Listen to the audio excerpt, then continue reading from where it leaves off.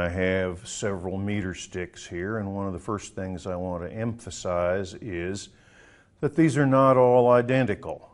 For one thing, they're made out of wood. Wood is not perfectly stable, and it may vary a little bit in size depending upon the moisture content and other factors. So let me take these meter sticks here and, and we'll set them so that the bottom ends here are all at exactly the same place. So we would expect them all to be exactly the same length. Now let's look. Well, in fact, they're not all identical. There's a variation of maybe two or three millimeters in the length of these meter sticks. A part of that is because the ends may be worn off.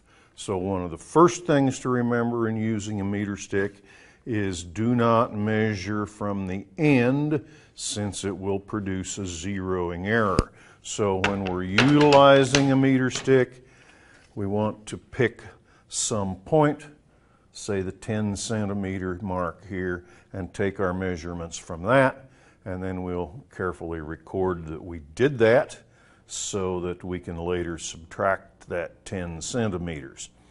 Now, another thing about using a meter stick is the fact that parallax error may occur. For example, if I want to measure the length of this line ruled across this piece of paper, if I lay the meter stick down like this, then the measuring marks are not in the same plane as the thing I want to meet to measure, so that the value I get depends on where I place my eye, and that's not good. Normally, this parallax error is random, but it can sometimes be systematic.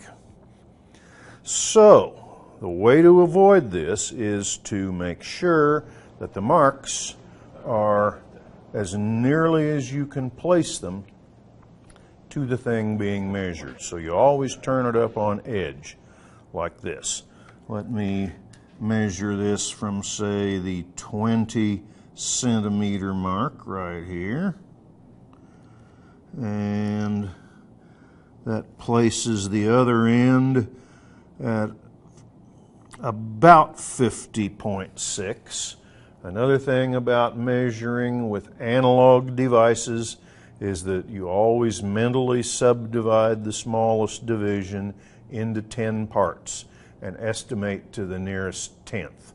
Now, we won't always estimate the same tenth, but at least we do get one additional digit, which is generally significant.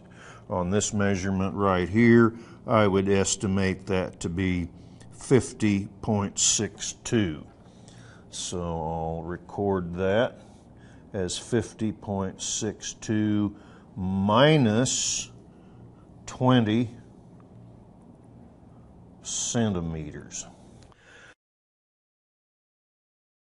Uh, when I was a feckless high school student with a new driver's license, my parents had a car that had a 10 mile per hour parallax error if you were sitting in the passenger seat.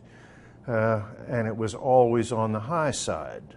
So you can see that parallax errors can be extremely serious. Oops, we obviously have an outlier here.